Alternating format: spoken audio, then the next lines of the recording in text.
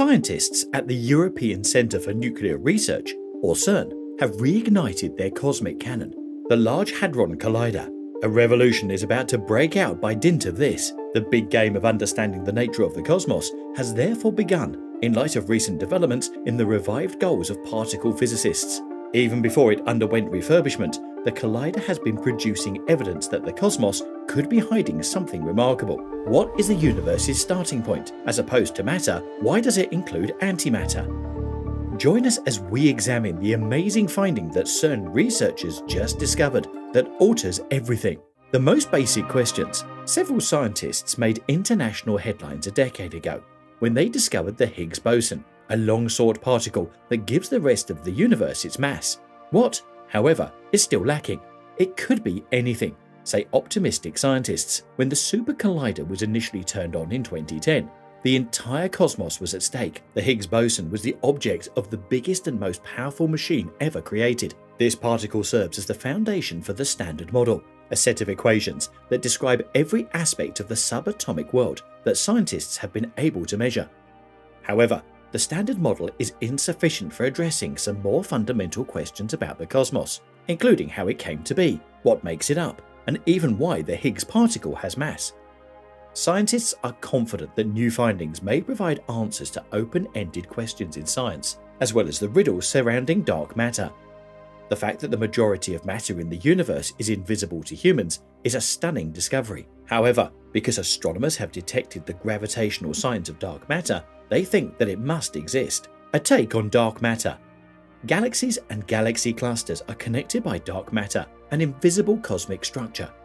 We're not entirely sure what it is.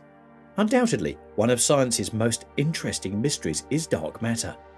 In 2010, we saw the initial activation of the Massive Collider, and physicists hope that this will lead to some answers. However, other than Higgs boson, no other new particles or information on the makeup of dark matter was found. Fortunately, there was no impact on the traditional model.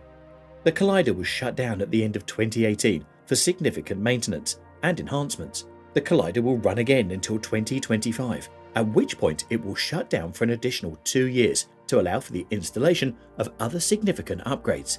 This round of improvements also includes improvements to the massive detectors that sit in the four locations where the proton beams collide and are examined, as well as the collision debris. Since July, those detectors have been put to the test. As there are many sprays of particles that must be distinguished from one another, squeezing the proton beams confuses detectors and computers while increasing the possibility of protons colliding at the crossing places. In the meantime, several investigations have highlighted weaknesses in the mainstream model and a more thorough, in-depth understanding of the universe.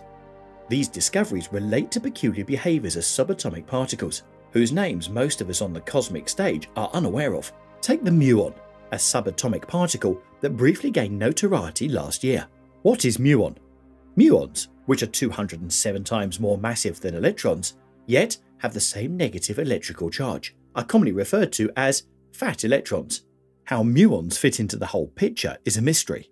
They are created during collider events and by cosmic ray collisions, and only in a few microseconds they radioactively decay to physical electrons and spectrum neutrinos. Muons spinning in a magnetic field wobbled far more swiftly than the conventional model anticipated, according to 200 scientists from the Fermi National Accelerator Laboratory in Illinois. The world learned about this revelation last year.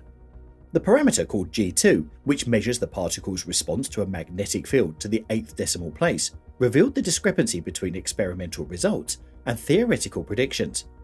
The standard model would eventually be destroyed if the existence of the particles could be verified. Scientists have linked the small but considerable deviation to the quantum whisper of a particle that would momentarily develop around the muon and modify its characteristics. For example, the Higgs boson serves as both a powerful telescope and an extremely accurate microscope for studying nature at the lowest scales. Because it seeks to decay to a lower energy level, through a vacuum, it has access to extremely high energy scale physics. Our vacuum is referred to as a false vacuum by physicists. The Higgs field energy potentials, peaks and valleys, keep our universe in this fictitious vacuum long enough for planets, stars, and galaxies to develop. This false vacuum will eventually degrade since it is intrinsically unstable.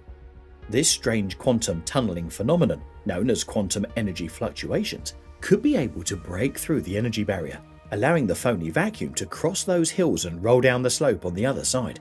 The dissolution of the phony vacuum would spread outward in a wave travelling at the speed of light, destroying everything and replacing it with a real vacuum. Whatever occurs, it won't be for the benefit of the universe.